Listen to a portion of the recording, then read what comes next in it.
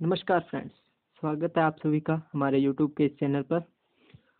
तो जैसा कि फ्रेंड्स आप सभी को पता है, आज है 26 दिसंबर तो आज से जे मतलब कि जयपुर विद्युत वितरण निगम लिमिटेड के हेल्पर टू के एग्ज़ाम्स है, वो स्टार्ट हो चुके हैं और शिफ्ट फ़र्स्ट का एग्ज़ाम हो चुका है।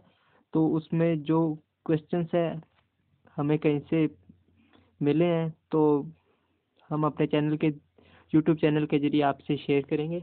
तो फ्रेंड्स आपको अच्छा लगे तो सब्सक्राइब कीजिए लाइक कीजिए और आगे से ज़्यादा से ज़्यादा शेयर कीजिए ताकि आगे जिन जिन किसी का भी एग्ज़ाम होने वाला है, उनको इनमें मदद मिल सके और पता लग सके कि एग्ज़ाम किस पैटर्न पे आ रहा है, किस पैटर्न पे बेस्ड है। तो देखते हैं फ्रेंड्स देखिए फ्रेंड्स मेरा ये वीडियो बनाने का मोटो यही है कि आप सभी को ये पता लग सके कि कौन से पार्ट से कितने क्वेश्चंस आ रहे हैं और किस तरीके से एग्ज़ाम आ रहा है। तो देखिए फ्रेंड्स सबसे पहले, हिंदी का पार्ट है, उसमें से 25 से 30 क्वेश्चन आ रहे हैं हिंदी में से। ठीक है फ्रेंड्स जैसे कोई बता रहे हैं, बीस आ रहे हैं, कोई पच्चीस आ रहे हैं मतलब एवरेज निकाला है एवरेज पच्चीस से तीस क्वेश्चन तक आ रहे हैं हिंदी के। और उसके बाद इंग्लिश के देखें तो इंग्लिश के पंद्रह से बीस क्वेश्चन साइंस साइंस के आठ से दस क्वेश्चन आ रहे हैं। और राजस्थान जी के इम्पोर्टेंट पोर्शन है। राजस्थान जीके में से तीस क्वेश्चन आ रहे हैं। तीस के लगभग क्वेश्चन आ रहे हैं। मैथ्स में दस से पंद्रह क्वेश्चन और करंट जीके के तो इतने ही आते हैं। चार पाँच क्वेश्चन वैसे ही आ रहे हैं। वो सभी को पता होता है। करंट के तो इतने ही आते हैं। जहाँ चार आते हैं जहाँ पाँच आते हैं। मैक्सिमम इतने आते हैं। मतलब देखने वाली चीज़ ये है कि हिंदी और राजस्थान जी के ये दोनों इम्पोर्टेंट पोर्शन है। इसमें से सिक्सटी परसेंट एग्ज़ाम आ रहा है। मतलब सिक्सटी परसेंट ये दोनों पोर्शन एग्ज़ाम को कवर कर रहे हैं राजस्थान जी और हिंदी। तो आप इस पर अपना ज़्यादा फोकस रखिए। राजस्थान जी और हिंदी पर अपना ज़्यादा फोकस रखिए उस पर ज़्यादा करिए। जिनके एग्ज़ाम हो गए हैं वो उनको तो बस ठीक है उनका तो एग्ज़ाम हो गया और जिनको आ, जिनके एग्ज़ाम आगे होने वाले हैं या फिर आने वाले हैं तो वो अपना तैयारी हिंदी और राजस्थान जी पे थोड़ा ज़्यादा कॉन्सेंट्रेट रखें ज़्यादा इस पर ज़ोर दें। बाकी इंग्लिश के पंद्रह से बीस आ रहे हैं साइंस के आठ से दस क्वेश्चन आ रहे हैं और मैथ्स के दस से पंद्रह।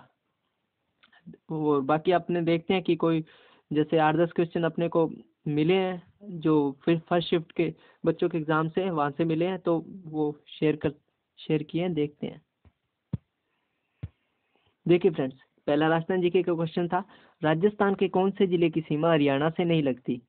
तो ऑप्शन के हिसाब से कौन से ज़िले की सीमा हरियाणा से नहीं लगती? गंगानगर। जयपुर का निर्माण कब हुआ? जयपुर का निर्माण कब हुआ था? अठारह नवंबर अठारह नवंबर सत्रह सौ सताईस को। आगे क्वेश्चन है ऊपर माल का पठार कहाँ पर है? ऊपर माल का कठार, पठार कहाँ पर है? चित्तौड़गढ़ से भीलवाड़ा के अंदर। और हिंदी के क्वेश्चन पूछे गए थे, तारा का प्रायवाची पूछा गया था, जो पहले जन्म हो के लिए एक शब्द पूछा गया था, आँखें फिरना लोकोक्ति का अर्थ है, ये सब हिंदी में पूछे गए थे। आगे देखते हैं फ्रेंड्स इंग्लिश का। इंग्लिश का वैसे हिंदी का इसमें सेंटेंस पूछे गए थे। सेंटेंस को अरेंज करना था जैसे नंबर एच पी की घंटी बजी अपनी अपनी क्लास से प्रसन्न होकर दौड़ कर भाग कर निकले। ये सेंटेंस आगे पीछे और इनको एक क्रम में निर्धारित करके लगाना था।